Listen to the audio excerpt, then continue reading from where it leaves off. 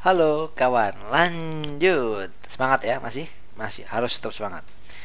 Pernyataan, ini ada pernyataan 1 2 3 4 5. Dari kelima pernyataan di atas, manakah yang termasuk ke dampak positif vulkanis? Kalau dampak positif ya kita cari pernyataan-pernyataan positif yang berhubungan dengan vulkanisme tapi yang berhubungan dengan uh, kejadian ini ya, vulkanisme.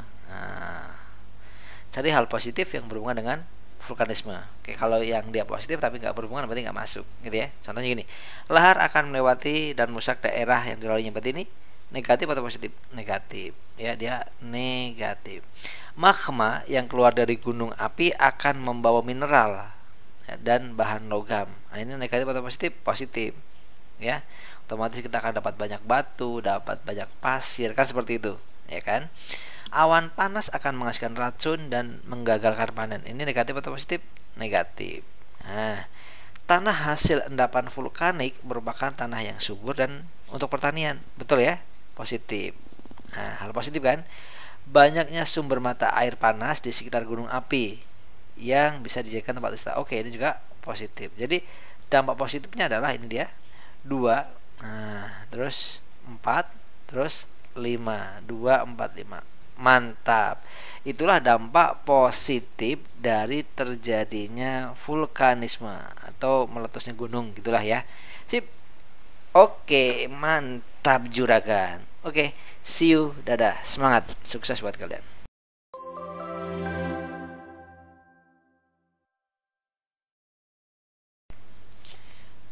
Oke, lanjut ya. Bismillah. Berikut ini merupakan ciri-ciri dari gunung api Mar. Jadi gunung api itu banyak jenis-jenisnya ya. Kalian nanti bisa buka nih.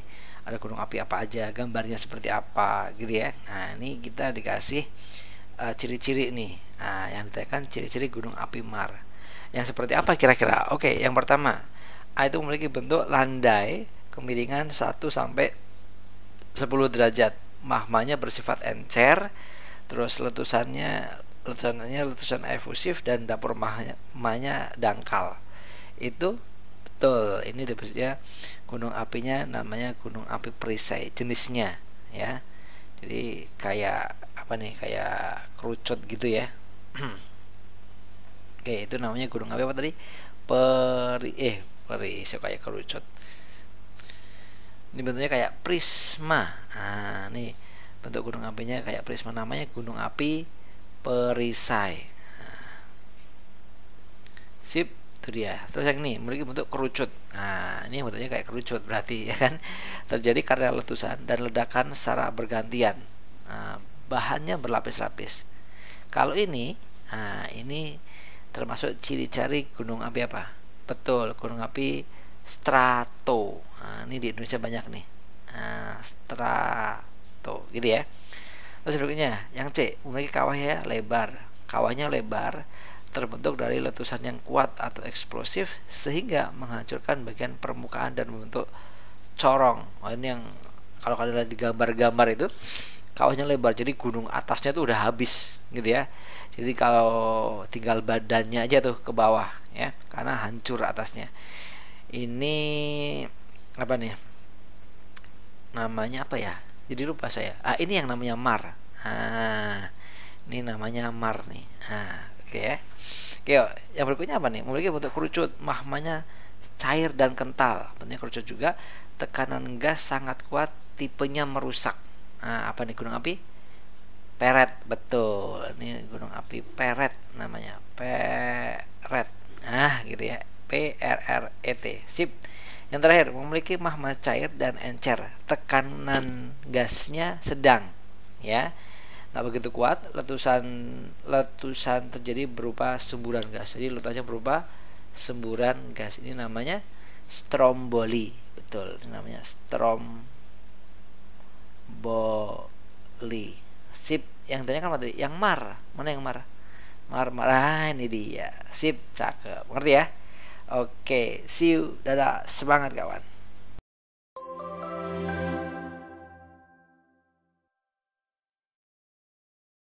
Oke, lanjut ya.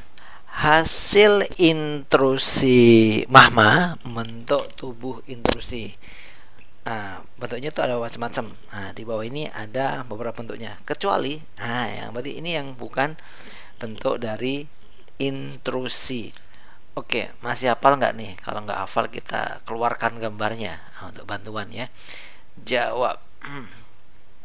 Nah, sedangkan intrusi itu apa sih? Intrusi mahma ya, itu adalah proses penerobosan mahma di dalam lapisan batuan tetapi tidak sampai ke permukaan cuman ada di lapisan aja itu namanya intrusi mahma jadi nggak sampai permukaan tuh nggak ya. Jadi mahmanya robos-robos lapisan bumi gitu lapisan batuan gitu.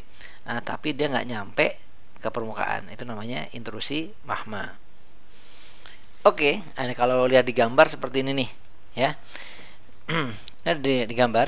Nah, yang paling bawah itu namanya batolit ya. Batolit itu apa sih? Batolit itu adalah batuan beku dia. Nah, yang di sini batuan beku yang terbentuk di dalam dapur mahma jadi bawah ini dapur mahma nah dia batuan beku itu terbentuk dari eh, yang terbentuk di dalam dapur mahma sebagai akibat apa?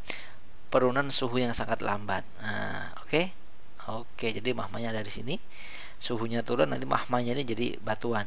Gitu. Ah interupsi-interupsi ini uh, interupsi intrusi-intrusi ini uh, ini macam-macam bentuknya.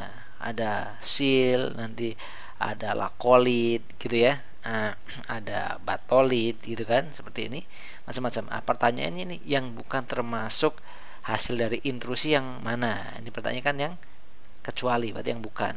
Oke seal. Nah ini ada seal. Nah ini seal nih. Seal itu apa sih? Seal itu adalah lapisan magma yang tipis. Nah lapisan yang tipis menyusup dan sejajar dengan lapisan batuan dia sejajar. Nah, dia. Nah, bentuknya kan sejajar tuh dengan lapisan batuan gitu ya. Ini namanya seal berarti ini seal betul. Dom. Ah dom nggak ada ya. Oke. Okay. berarti kecualinya dom gitu ya. Coba kita cari dom ada dike dike. Apa bacanya apa ya? Gitu ya. Pokoknya bacanya gitu deh. Oke, dom itu bukan ya. Dom itu bukan. Nah, kalau deck itu uh, dia termasuk intrusi, cuma dia nggak ada di sini nih. dia adalah intrusi yang memotong lapisan lain. Nah, dia memotong lapisan lain. Nah, itu namanya uh, decay atau deck. Oke, terus batolit. Nah, ini dia batolit ada ya di gambar ini ya uh, batu itu apa sih ya tadi udah jelasin kan batu itu adalah sebenarnya dia uh, bagian intrusi yang sangat luas karena dia sebenarnya terbentuk dari dapur magma gitu ya sebagai akibat penurunan suhu. Nah ini batolit nih.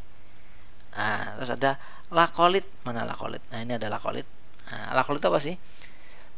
Lakolit itu adalah magma yang menyusup di antara lapisan batuan.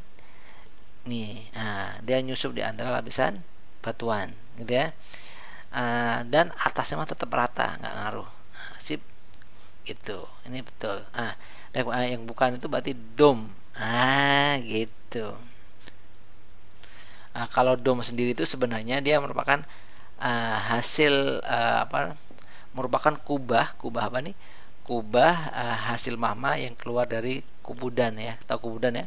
Nah, dia keluar dari uh, kubudan gunung api. Dia bentuknya sebenarnya ubah ya. Oke? Oke sip. Berarti yang benar tadi yang mana? Yang dom. Karena yang kecuali kan? See you. Dadah